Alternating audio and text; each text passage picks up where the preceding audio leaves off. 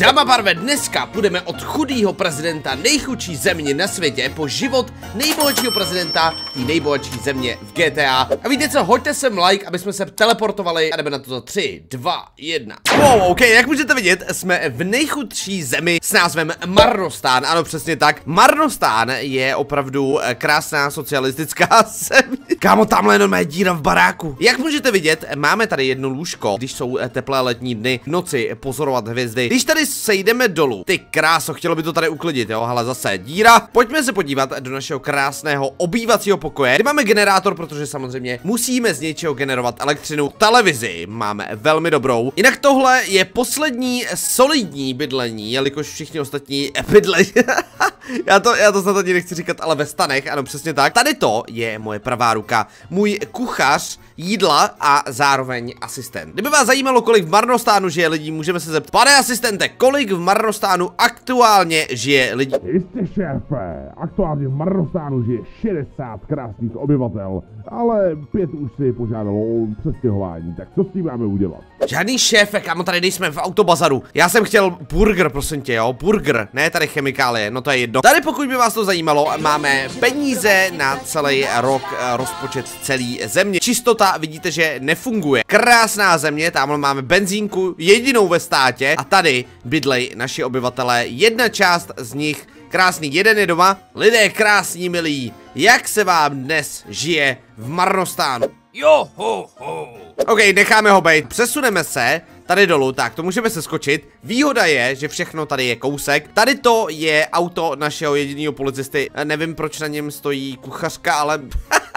OK, naše exkluzivní prezidentský auto. Sedíme vevnitř a pojďme to zkusit. Kamo, proč? Já mačkám šipku dopředu. He, nastartovali jsme, ale... Hmm, tak tohle to je špatně. Podle mě nám došel benzín. Nevadí, tak jo, e, e, půjdeme z auta ven. Ze skladu jsem vzal tady kanistr na benzín a samozřejmě úplně tak jako dokonalý asistenty nemám. Máme tady občana, tak zdravím občane. Co, co potřebujete? Proč jste tady? Pane, pane, pane, nedal byste mi drobáček? Potřeboval bych na letenku za rodinou. Aspoň korunku. Letadla tady už za prvý nelítají a za druhý, um, co jste to řekl? Drobáček? Tady se neberou žádný drobáčky. Jo, nikam odlítat nebudeš. V těchto těch budovách už jakoby úplně nikdo nebydlí. Stan je nakonec se spacákem lepší varianta. Já se beru zej prezident. No to je to nejchudší země, no, co mám dělat? Výborně, koukám, že zaměstnanec je naší pumpě, která je mimochodem taky posledním obchodem. Zdravíčko, potřeboval bych nějakou sušenku a doplnit benzín. Je to možný? Pane prezident, ale benzín dorazí až za dva měsíce. Pamatujete, neměli jsme na to peníze. A jídlo, no, nějakou myšku bych tam našel, kterou jsem vylovil dneska, chcete?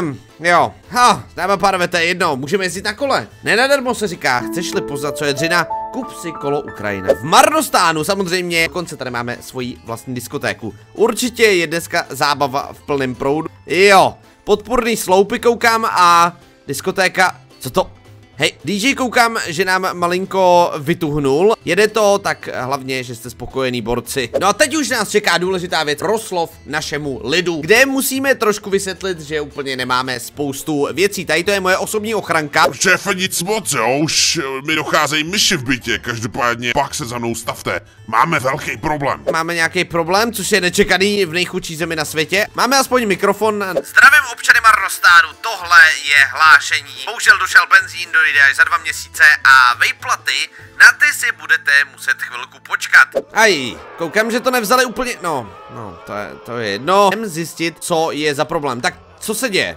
Generála naší země unesli do Los Santos. Potřebuji, abyste ho jel ospovodnit. Připravili jsme pro vás nejlepší zbraně a nejlepší inženýři vám vyrobili letadlo, kterým se tam můžete zaletět podívat. No jo, v nejchudší zemi prostě prezident musí vykonávat, dáma panové, úplně všechno. Pojďme za místníma inženýra. Jakoby já jsem tam blíž. Tohle to je nejlepší kousek, který jste mi připravili. Zdravím, pane. Vy jste asi nejlepší inženýr v mý zemi. Pane, budete hrdina naší země. Máme pro vás ty nejlepší zbraně, které jsme měli na skladě a tohle je totální raketa.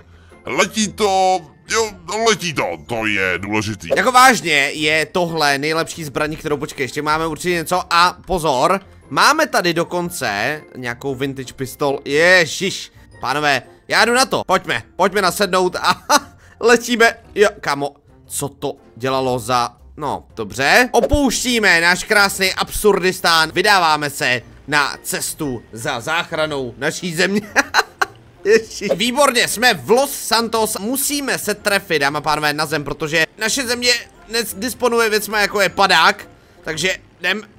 Naše věc, o, krásně jsme to zvládli, dobrý, dobrý, dobrý, necháme si tady někdy letadlo a teď se potřebujeme dostat na policejní stanici. Jsme na policejní stanici a pojďme se nenápadně podívat zatím dovnitř. Jo. Třeba nebude potřeba ani tolik násilí. Oh, kamo, to je náš generál. Co tady děláte? Okamžitě pojďte se mnou. Pane, ale já nikam nejdu, na rozdíl od vás. Je mi to líto, ale s lidma z naší země jsem vás prodal, protože jsme už nechtěli žít ten hnusný život ve stanech. Je mi to líto. Ale ne, podívejte se, dáma pánové, já jsem wasted. Podaučení je z toho jednoduchý, ve výsledku vás zraději. Teď pojďme na to příjemnější. Vítejte u nejbohatšího prezidenta a první věc, kterou můžete vidět, tak je to, že máme vlastní obrovský sídlo, jo? Samozřejmě, jak můžete vidět, nejbohatší prezident si to dokáže udělat hezky. Mám spoustu věcí, jako je golfový vozík, moje nejoblíbenější místo, bazének, se vším všudy, výřivka a tak dále. Teď se pojďme přesunout na hlavní místo. Jako nejbohatší prezident máme spoustu povinností, jako třeba vydělávat peníze. Tady je moje osobní ochranka, pojďme za agentem, který nám dává první úkol. Pane prezidente, jakožto váš manažer se vás dovoluji upozornit, že na stole vám čeká smlouva, která nám může vydělat 200 milionů dolarů.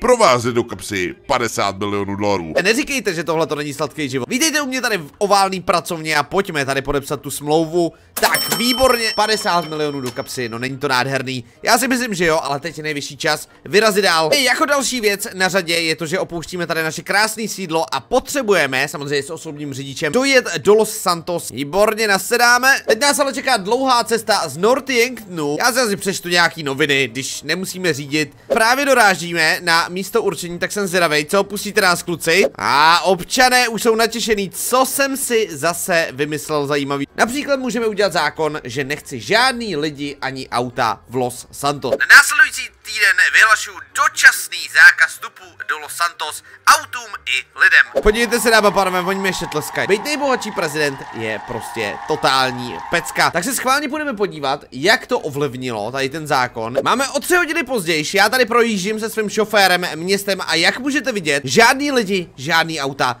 Přesně takhle si to představuju. No vzhledem k tomu, že všichni jsou pryč z města, tak jsem se rozhodl, že si někam poletím se podívat. Děkuji za odvoz přímo na letiště, jak můžete taky vidět, máme normálně americký letadlo, vládní speciál, kde je spousta nádherných věcí. Zdravíčko, pánové, kam bych teda mohl odcestovat? Pane prezidente, to je volba čistě na vás. Krom samozřejmě válečných oblastí, tam bych vám to nedoporučoval. Tak kam poletíme? Ty jo, já nevím, dáme pánové, co třeba Dubaj? Život je tak simple, když jste nej, v nejbohatší zemi, můžete dělat úplně všechno. Takovej nádherný výhled a můj pilot má teda trošku mouchy, vám řeknu, toho budu muset asi vyhodit, ale jo, nějakým způsobem to zvládnu a nechali mě tady čistě, nechali celou Dubaj jenom pro mě, ale jako, jo, je to docela impozantní. No jo, tohle to je moje vila s krásným výhledem přímo na Burj Khalifu. Podle terasy poznáme nádherný barák, takže dáma pánové, Tohle to byl nejchudší versus nejbohatší prezident. Doufám, že se vám dnešní video líbilo. Mějte se krásně a čau, čau, čau.